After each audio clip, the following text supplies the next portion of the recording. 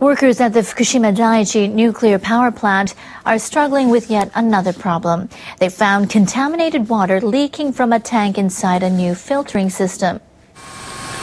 Officials at Tokyo Electric Power Company say they discovered the leak during an inspection on Saturday. TEPCO has been testing the filtering system since March. It can remove almost all radioactive materials. The officials say the leak occurred in the welded section of a storage tank that holds radioactive water. They say the water has dripped into a pan below, but has not leaked outside of the filtering system. Contaminated water has been building up at the plant at a rate of hundreds of tons per day. TEPCO wants to use the new system to decontaminate it, but it has halted tests to investigate the cause of the leak. Environment Ministry officials in Japan are turning to experts for advice on their plan to store dirt and other contaminated debris uh, contaminated by the 2011 nuclear accident. Workers have been removing topsoil from the ground in Fukushima in their effort to decontaminate the area. Now, the government plans to construct intermediate storage facilities in three towns near the Fukushima Daiichi plant. The debris will be kept there until final disposal sites are built. But some residents are against the idea because they're concerned about high levels of radiation. In response, the Environment Ministry is assembling panels of experts to confirm the safety of the plan. Geologists will check the ground under the site to make sure it's stable. The experts will also give advice on the structure of the facilities as well as safety measures. Another panel of experts will discuss how to conserve the environment around the sites. The panels will hold their first meetings before the end of the month. Japanese researchers say fish caught in waters off the Fukushima Daiichi nuclear plant absorbed large amounts of radioactive cesium immediately after the accident, rather than gradually accumulating the material over time. We concluded that the fish absorbed cesium in large quantities shortly after the nuclear accident in March 2011. Last August, the operator of the plant detected radioactive cesium at 380 times the government safety standard in a single rock trout. A fish was caught about one kilometer off the coast of Minamisoma City, Fukushima Prefecture.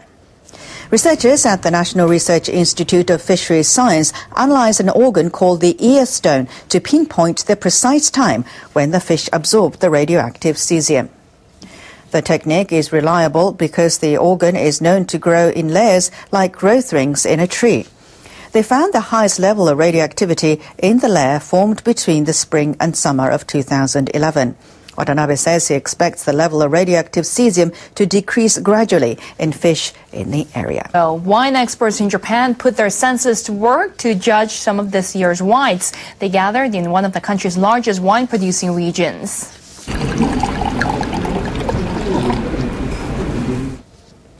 The event featured 87 offerings from 29 wineries in central Yamanashi Prefecture. Nine judges examined each entry. They checked for flavor, aroma, and color and gave scores on a scale of 1 to 5. This year's wines all have fruity aromas and deep flavors. I am sure everyone will enjoy them. 85 of the wines received an official endorsement. They will go on sale later this month at local wineries and tourist centers. The Japanese government wants people abroad to think the country is cool in the cultural sense, that is. Ron Madison has the latest on a special bill passed to promote this concept. Ron. Yeah, that's right. I think uh, plenty of people already around the world think that Japan is uh, pretty cool. But uh, yeah, the, what lawmakers want to do is uh, give some businesses more incentives uh, to promote things like uh, manga and J-pop.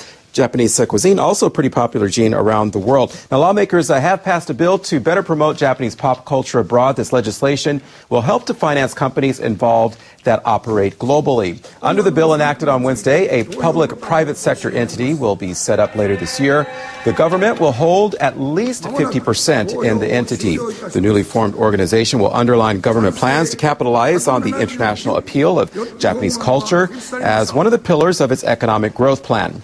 Companies that qualify for the financial assistance include those providing online distribution of Japanese animation and movies, as well as firms that sell related products. Also covered will be businesses that, for example, operate restaurants that serve Japanese food or offer Japanese brand clothing retailers, and commercial centers overseas. Two survivors of the Hiroshima atomic bombing have been updating the historical records.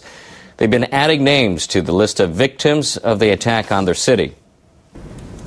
It's an annual practice ahead of the August 6th anniversary of the 1945 bombing. This year, they'll add 3,234 names. More than 280,000 people are already registered as atomic bomb victims. Kazuko Ikegame and Nobuko Nakamoto are writing the names and dates of death of newly identified victims and of survivors who died in the past year. Ikegame has been in charge of the list for the past 24 years. Many people have died in the 68 years since the bombing.